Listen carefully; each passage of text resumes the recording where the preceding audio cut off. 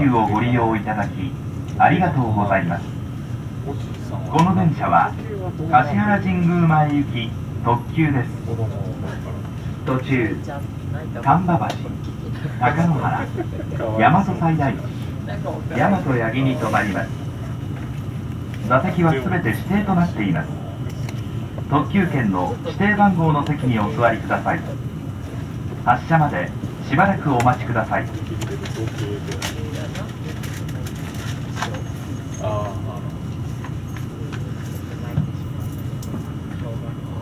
新年おめでとうございます。今年も近鉄特急をご利用いただきますようお願いいたします。